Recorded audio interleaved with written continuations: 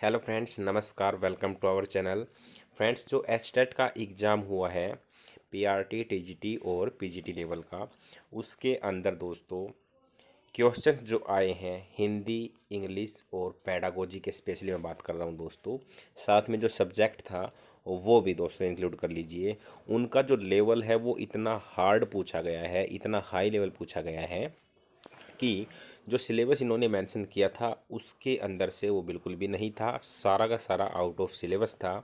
उसी को लेकर के दोस्तों, सभी स्टूडेंट्स ये मांग कर रहे हैं कि दस नंबर मिनिमम जो है, दस नंबर ग्रेस के मिलने चाहिए। किसी किसी पेपर के अंदर दोस्तों पंद्रह नंबर भी ज़रूर मिलने चाहिए, क्योंकि जो लेवल दिया गया था, वो बिल्कुल ही आउट ऑफ़ सिलेबल था आउट ऑफ़ सिलेबस था। तीस तीस, चालीस चालीस क्वेश्चन दोस्तों जब आउट ऑफ़ सिलेबस होते हैं तो दोस्तों, नब्बे नंबर लेना कितना ज़्यादा मुश्किल हो जाता है, ये आप सभी को पता है और जिन्होंने एग्ज़ाम दिया है, उनके दिल पर अभी क्या बीत रही है, वो वही जानते हैं दोस्तों। क्योंकि हर एक स्टूडेंट कोई दस नंबर से रह रखा है, कोई पंद्रह नंबर से रह रखा है और वो उन चालीस क्वेश्चन जो आउट ऑफ़ सिलेबस आए हैं, उन्हीं की वजह से रहे हैं। जिनकी अच्छी तैयारी थी दोस्तों, उनके भी नब्बे नंबर पूरे नहीं बन पा रहे हैं। तो दोस्तों आप सभी को भी इस मुहिम में हिस्सा लेना है कि सभी को दस नंबर ग्रेस के मिनिमम मिलने चाहिए या फिर ये एग्ज़ाम जो है दोबारा करवाना चाहिए दोस्तों, क्योंकि पूरी साल जो है स्टूडेंट तैयारी करता है, उसके बाद वो फ़ीस भी देता है एक एक हज़ार रुपये उस या फिर उससे ज़्यादा और जो है दोस्तों अपना पूरा का पूरा टाइम देता है और उसके बाद ऐसा पेपर आ जाए तो दोस्तों कितना जो है ऐसे जो है हार्ड होता है, आप सभी जानते हैं।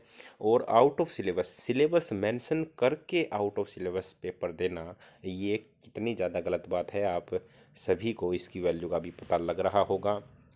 तो दोस्तों, अगर आप भी सहमत हैं कि दस नंबर एक्स्ट्रा मिलने चाहिए तो जो है, इस वीडियो को भी शेयर करें। साथ में दोस्तों ट्विटर पर हम ट्वीट कर रहे हैं।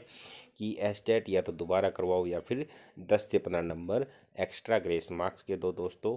तो इस मुहिम में जुड़ने के लिए आप चैनल सब्सक्राइब करें, साथ में वीडियो को लाइक करें शेयर करें और हम जो है आपको नेक्स्ट वीडियो में इन्फॉर्मेशन भी देंगे कि किस प्रकार से आपको ट्वीट करना है और कितने बजे ट्वीट करना है, क्योंकि बहुत से यूट्यूबर जिन, जिनसे मेरी बात हुई दोस्तों, बहुत से टीचर्स जो है जिनसे बात हुई है, वो सभी एक मुहिम चलाने वाले हैं और उसके तहत ही आपको आना होगा।